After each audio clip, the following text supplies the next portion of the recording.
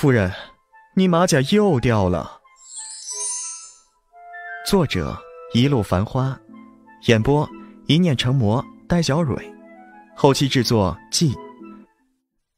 第三百一十八集。叫嚣着的大多数都是男生，女生们演太久，绷不住笑到沙发上。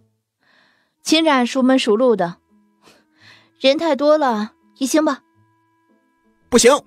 我们是那种一星就能收买的人吗？秦冉拉开了一张椅子坐下，双手环胸，抬一抬下巴。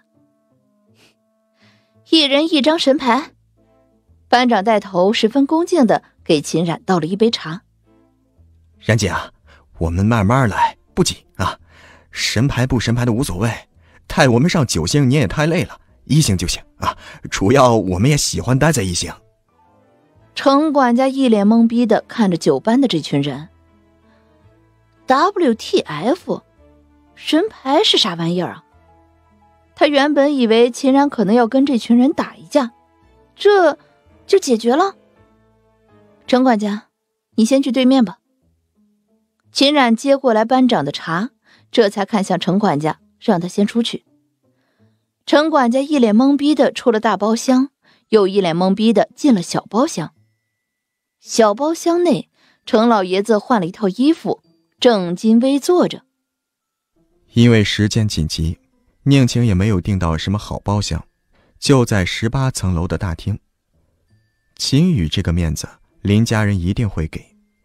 秦宇也邀请了原先一班的学生，能来的只有寥寥几个，剩下的都是林家的商业对象。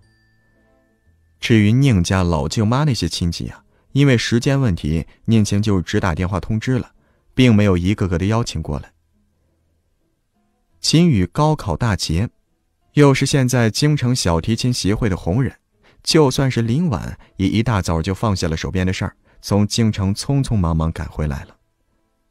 林婉毕竟是京城沈家的人，跟林家的其他人不同，宁晴跟秦宇亲自去机场接了。秦宇跟林婉坐在后座儿。宁晴坐在副驾驶。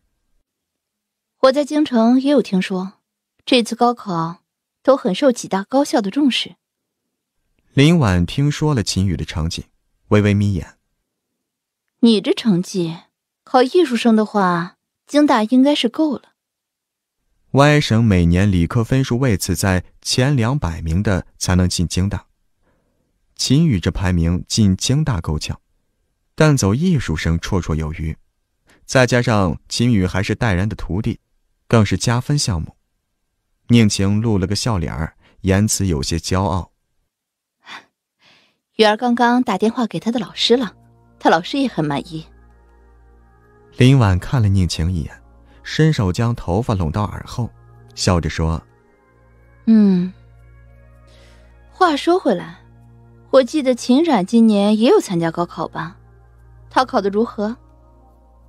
孟家跟秦冉受伤的事情被封锁起来，牵涉太多。林婉只知道孟家失事，却不知道这里面还有跟秦冉的关系。宁晴一愣，今天一天他都在跟林家、宁家这些亲戚打电话，还真忘了秦冉今年也参加高考了。这种时候提起这个，他笑容淡了些许，心思也微微发沉。想起了他跟秦冉几乎磨合不了的关系，抿唇。啊，他手出了点问题，今年没法参加高考。是吗？林婉淡淡一笑，没再说话。他跟秦冉闹过不愉快，自然也知道秦冉是个混混这会儿提起这个，明显是有些看热闹的语气。宁晴的脸色稍稍显得僵硬了。至于秦宇，成绩下来后，他一心就想着京城小提琴协会今年的提名名额。若不是林婉提起秦冉，他都忘记秦冉这个人了。至于秦冉考多少，现在他根本就不关心，也不在意。林家的车停在酒店停车场。现在酒店喜宴都会在大门口的银幕上挂上贺词，多人的话就轮番播放。新婚贺词，婴童周岁贺词，寿宴贺词，高考贺词。今晚大多是云城考得好的高考分数贺词。宁晴等一行人下车，今天云顶酒店的停车位几乎停满了。宁晴带着两人朝大门的方向走，秦宇拿出手机看了一下，他邀请了徐瑶光，不过徐瑶光一直没有回他，他眯了眯眼，没有再看了。这会儿已经是晚上六点，但是因为初夏，太阳还没有完全落下，路灯也没有打开。但酒店大门上方银幕上的字迹却是非常的明显。秦宇看了一眼，轮播正好到他们包厢的贺词了，热烈庆祝秦宇同学高考取得六百四十九高分。只看了一眼，秦宇就不太在意的收回了目光。林婉拿出手机拍了一张照片，发了张朋友圈，才看向秦宇：“我们走吧。”两人率先往前走了两步，到酒店门口的时候，却没有发现宁晴。秦宇十分意外的往后看了一眼，宁晴停在了大门口，正抬头看着银幕上的贺词，眼睛发直。妈，秦宇跟林婉看了一眼，都挺意外的。他往前走了一步，想要看看宁晴到底在看什么。你看到了什么？这个表情？他走到宁晴的身边，顺着宁晴的目光往上看，屏幕上一轮轮播还没结束，清清楚楚显示着贺词：“本店协同所有员工热烈庆祝秦冉同学高考以七百四十七高分取得外省状元。”高考分出来，秦宇并没有关注是谁得到了高考状元。云城市状元不是徐瑶光就是潘明月，这两个人。秦宇都不太关注，可现在这屏幕上显示着什么？秦冉以七百四十七高分取得了省状元，这是秦冉？怎么可能呢？秦宇脑子里一片乱糟糟的，胡思乱想着。同名，应该是同名。今年的卷子这么难，秦冉他能考到七百四十七吗？秦宇甚至怀疑他现在是不是在梦里呀？他能考到六百四十九，就被林家人吹嘘到不行了。分数越往高，差距越大。七百四十七跟六百四十九不仅仅是九十八分的差距，而是一个几乎越不过去的鸿沟呀。宁晴没有说话，她只是拿出手机进了横川一中的官网。因为过分震惊。他的手指有些颤抖，点了好几下才点出了官网页面。官网首先弹出来新闻页面，就是高考大捷的页面，省一、省二、省五都在横川一中。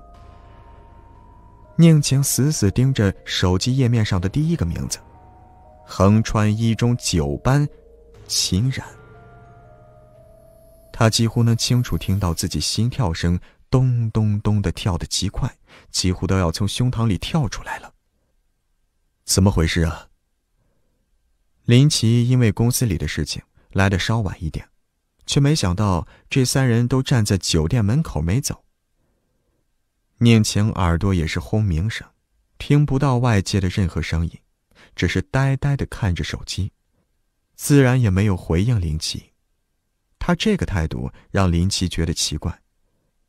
这会儿，银幕上的庆贺词已经跳到下个人那儿了，林奇没有看到，但他却注意到宁晴手中的手机。走到他的身侧，低头一看，他素来温和的脸上也瞬间崩裂了。这，这是冉冉。林冉那一家人因为秦冉的高考成绩的事情，一整场的饭局几乎都不在状态。这些秦冉等人自然不知道。这些年轻人精力可真旺盛呀！酒班的包厢对面，看到这群年轻人终于散场了，程老爷子才走出来。若是平日里这么晚，程老爷子早就睡了，今天却神采奕奕。这个小包厢基本上都是已经上了年纪的，十点就散场了。程老爷子就跟程俊等人坐着聊天。你什么时候跟徐家人这么熟了？程老爷子坐在沙发上，手里拿着一杯养生茶，精神奕奕的看向程俊。程俊的坐姿就没他这么好了，懒洋洋的靠在沙发上，有些昏昏欲睡的。我跟他们不是特别熟。被程老爷子一问，他也清醒了，然后撑着沙发站起来，他低垂着眉眼，整了整衣袖，才不急不缓的道：“我去对面看看。”